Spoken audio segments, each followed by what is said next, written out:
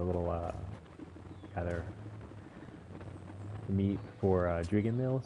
So spot is the best spot to gather them. Drieghan, you go up the road around Blood Wolves, and you're right kind of at you know just just south of this. Uh, there's a fork in the road up here from um, you can see right there the fork on the way to the ruins. Um, so there's this hill like right under the fork where is the main spot. This is pretty much where the Marmots live, so you see them all over the place. So you kill them.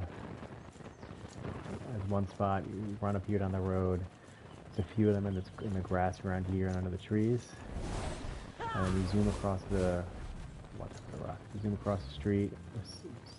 Some down here, some on the rock.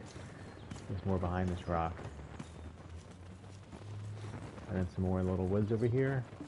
And once you hit this big rock, I, this is where I park my horse so you can tell, you just zoom back across the street and move over again.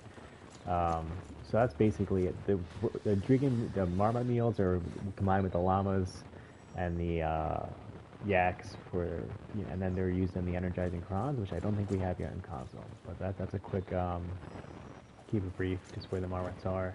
It's, it's pretty good for income too. Like I've got 4K on maybe like 300 energy or so. I think might have done the battlefield, but uh, they sell for I think what like 10,000 a pop. So you know, like you could sell these all day long probably, and they're pretty close. Not cheap close, but they're still pretty good. Um, all right, guys. End of this one. Next.